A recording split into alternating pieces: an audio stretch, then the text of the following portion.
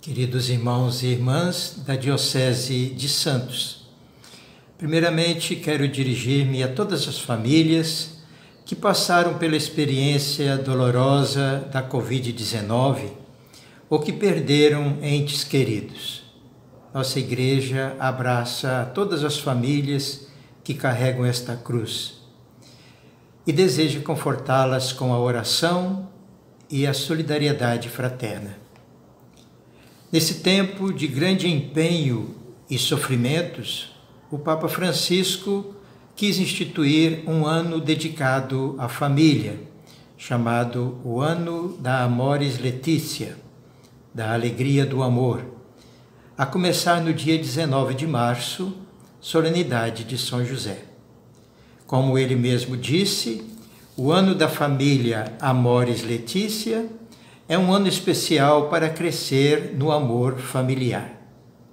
Por isso, diz o Papa, convido a um renovado e criativo impulso pastoral para colocar a família no centro das atenções da Igreja e da sociedade.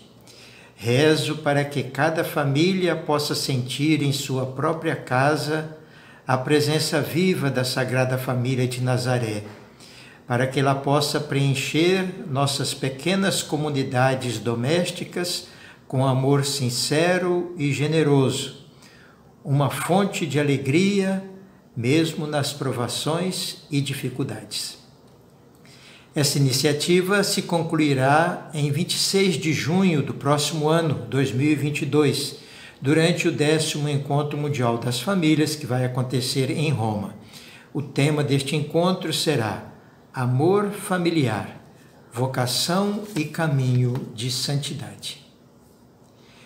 Temos como roteiro para a boa vivência deste ano a exortação apostólica Amoris Letícia, na qual o Papa Francisco recolhe as contribuições de dois sínodos sobre a família e nos oferece muitas luzes e estímulos para este necessário caminho de crescimento.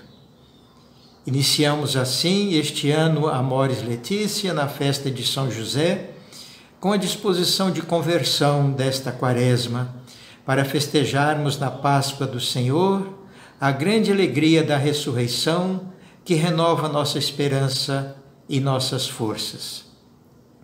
Com o Salmo 128, pedimos a bênção do Senhor sobre cada família. Feliz quem teme o Senhor e segue seus caminhos. Viverás do trabalho de tuas mãos, viverás feliz e satisfeito. Tua esposa será como uma vinha fecunda no interior de tua casa. Teus filhos como brotos de oliveira ao redor de tua mesa. Assim será abençoado o homem que teme o Senhor.